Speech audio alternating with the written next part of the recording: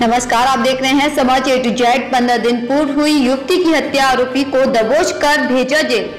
सदर औरैया के विधि चंद मोहल्ले की आशा देवी के अज्ञात व्यक्ति ने हत्या कर दी थी। सदर औरैया पुलिस कोतवाली श्री विनोद शुक्ला की सक्रियता से उच्च अधिकारियों के दिशा निर्देशों के अनुसार जाँच पड़ताल के बाद सर्विलांस टीम प्रभारी मुशाकिर की मदद से आज दिनांक 8 आठ 2018 को मृतका आशा देवी की हत्या करने वाले हर्षित गुप्ता उर्फ़ ऋषभ को गिरफ़्तार किया है। गिरफ़्तार किए गए आरोपी ने जुर्म स्वीकार किया और बताया कि लूट का विरोध करने पर गला दबाकर हत्या की है।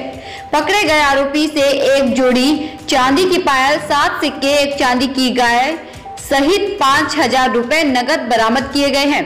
वहीं पर सर्विलांस टीम प्रभारी मुशाकिर की सक्रियता से तेरह मोबाइल फ़ोन बरामदगी की, जिन्हें प्रेस कॉन्फ्रेंस के दौरान मोबाइल मालिकों को दिए गए हैं। समाचार टू जेड के लिए औरैया से सतेंद्र सेंगर की रिपोर्ट।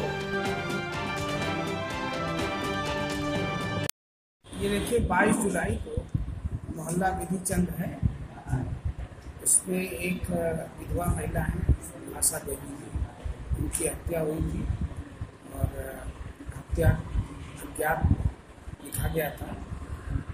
और कुछ सामान के मूल लूटपाट की भी जानकारी हुई थी, उनके परिजनों द्वारा। उसके बाद हम लोगों ने निरंतर कई टीमें लगाई थी उनके अलावा और आज हम लोगों को ये सफलता मिली कि इसमें घटना में जो शामिल हर्षित और फुलसत गुप्ता उसने घटना से स्वीकार किया और घटना में जो लूटपाट के उद्देश्य से घटना की गई। थी घटना में जो लूटा गया सामान है, वो काफ़ी हद तक बरामद किया गया है। उसमें मुद्रा भी बरामद हुई है और आप देख रहे हैं चांदी के सिक्के और टायर वगैरह जो गई थी। हत्या किस चीज़ से की गला दबा सर पकड़े गए अभियुक्त का क्या पहले भी कोई ऐसा कोई मामला प्रकाश में? नहीं पहला कोई इतिहास अभी तक जानकारी में नहीं आया है। लेकिन हाँ ये जो है लालच के में प्रथा चुटिया खेली रहती थी पड़ोस में ये रहते हैं लालच में इसने हत्या की ठीक है।